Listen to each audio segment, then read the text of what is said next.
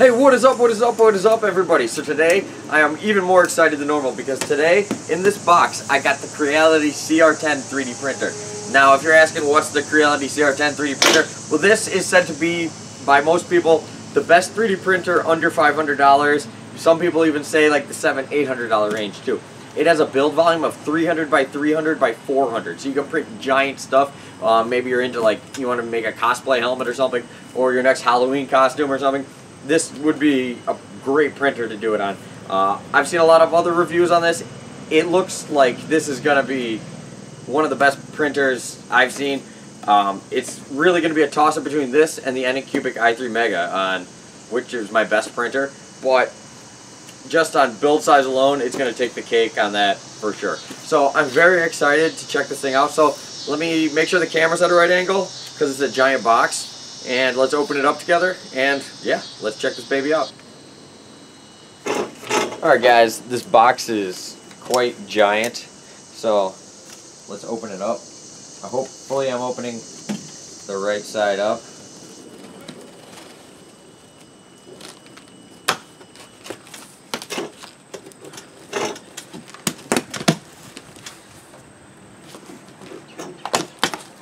Giant giant box Oh, and very nice because inside that box is a separate box. So that was just the shipping box. This is actually the manufacturer's box here. Oh yeah, nice manufacturer's box. Carefully flip that over. It looks like that was the other side. Okay, so we can get rid of this first box. Make sure that's all in frame good. Yeah, so we got 3D printer CR10, Creality 3D. Uh, it's got the QR code, Shenzhen, Creality 3D Technology Co. Official website, creality3d.cn. Um, a, hot, a service hotline, and everything. So yeah, really cool. Tells you which side to open up. So this is the top, obviously. This is uh, labeled quite nice, actually. Quite a nice box. Better than most uh, printers.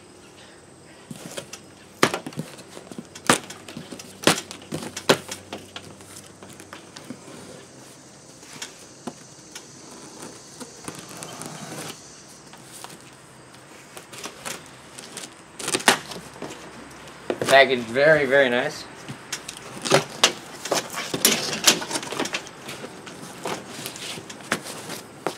Styrofoam, or whatever kind of foam you call it uh, on more styrofoam right here so you guys can see.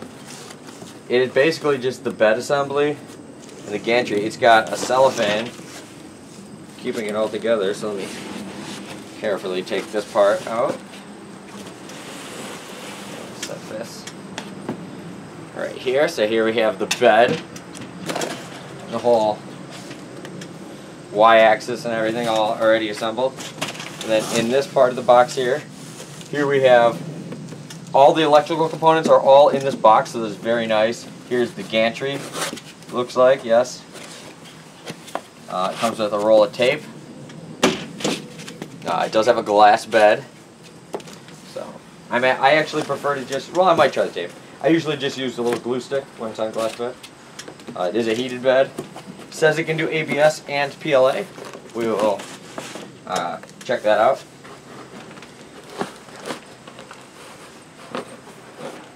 Overall construction, Joe, just taken out of the box though, feels very, very nice. Here's the old gantry. Let's carefully set that down. And that, so that's everything in the box. Also, guys, we have this box. I forgot to mention. Oh, in this box, we got a small, a small spool of PLA, white PLA, a USB connected to the computer, SD card reader, power cord, all the tools. We got a pair of wire clippers, some zip ties, all the Allen wrenches, instructions with parts list, manufacturer warranty, print removal tool, metal for that.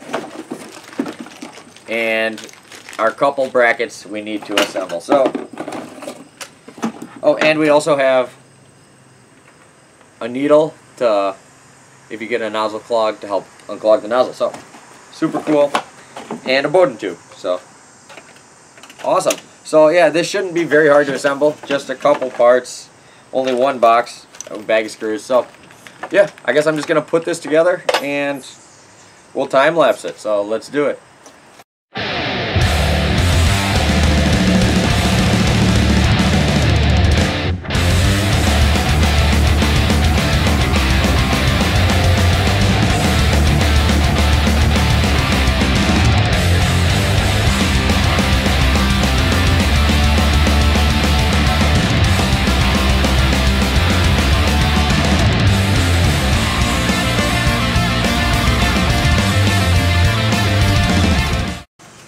Alright guys, it went together like a breeze, super easy, everything was labeled really good. The instructions were basically just one piece of paper, but I didn't even really need them. Everything was so easy. I already printed out on my other printer some upgrade parts for it, so I got a strain relief, I haven't put that on yet, but I put on these big um, tuning knobs. So I'm going to go in, level the bed, let's uh, fire off some test prints, and let's see what this baby can do.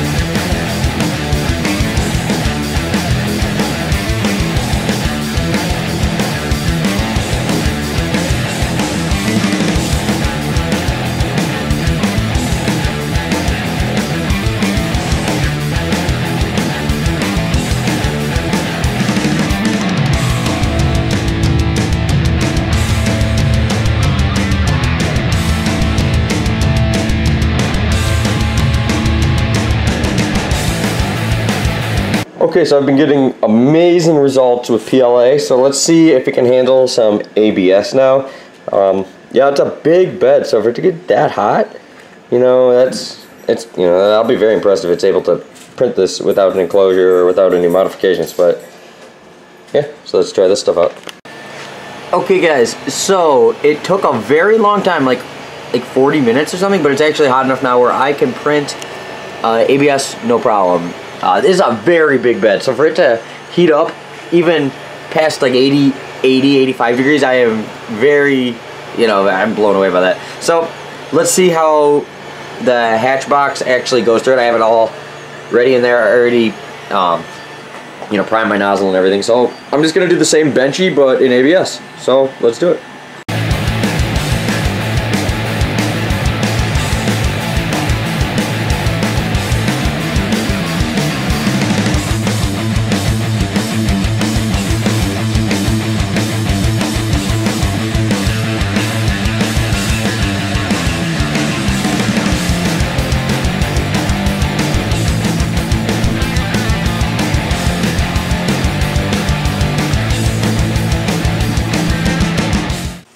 Alright guys, so final thoughts on the CR10. This thing is freaking awesome.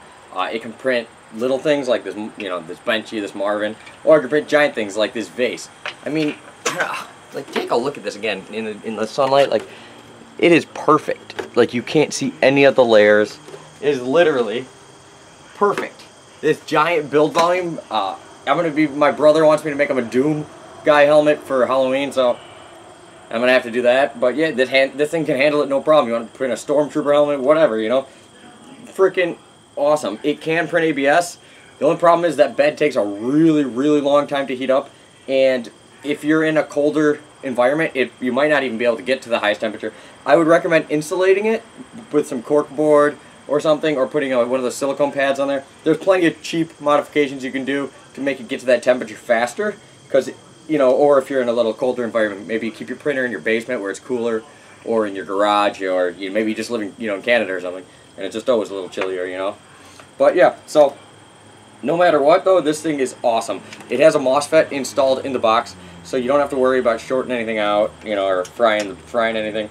Um, it has a single lead screw, which I was a little worried about, but based on how high I printed and how well this worked, I'm actually a big fan of it. By only having one lead screw, you don't have to make sure they're both aligned. You know, that's like one thing that's always a pain with printers is you got to make sure both it's equal height on both sides. This one, you know, it's only one, so you don't have to adjust that at all. You know, just got to make sure it's the right level. Um, so bed, extremely, extremely awesome. I've only leveled the bed one time. So I printed these tuning knobs so when I would have to level bed it'd be real easy, but I haven't even had to use them. Uh, I leveled the bed the first time. Every print's turned out great since then. I've actually had this printer for a week now, uh, so I just had this video is taking a little longer to make. So, but I haven't, I haven't had a single problem with it. It, you can get it right now for $3.59 on GearBest.com with the code, only 50 of these, this code only worked 50 times. So if you're thinking about this, get it, this printer, get it now, okay? Because 359 is a steal for this thing. On Amazon, on Banggood, this thing is like $459 or something. So it's like $100 cheaper and the, you can get it shipped from the Seattle warehouse. So if you live in the USA, you can get it nice and quick. So first 50 people to use the code in the description with the link, you'll be able to get this for $359 only. So, I mean, that this is the cheapest you're ever going to find this thing. So if you're thinking about this printer, I'd get it right now. But yeah, the glass bed, every everything about it is just high quality. The frame is like, everything's made of metal. I mean, it's extremely sturdy. It's, everything's very safe. All the controls, the wiring, everything's in this box. So, extremely safe. Eh, the fan's not too loud. The printer itself isn't very loud, but the, the fan's a little, you know, a little noisy. You could always swap that out with a quieter fan, but it's really, it, it, it's really nothing. You know, unless you had this in your bedroom and you were trying to sleep, it wouldn't really bug you. So, yeah, for $359 for a limited time, crazy cheap price. Uh, I you can't go wrong with that price. So, yeah, thank you so much, GearBest, for sending me this. I've just been blown away by this. So I'm going to do this in future videos. I'm going to do uh, a video versing this against the Anycubic i3 Mega as well as have some more printers on the way. One which is very similar to this that I'll be versing this up against. And uh, yeah, I'll keep you guys updated. I'll do a review down the line. But as of right now, this thing is uh, absolutely a bossa nova. So, hell yeah. So thanks again, GearBest. Thank you guys for watching. Um, yeah, it's my birthday. So happy birthday to me, and I'll see you later.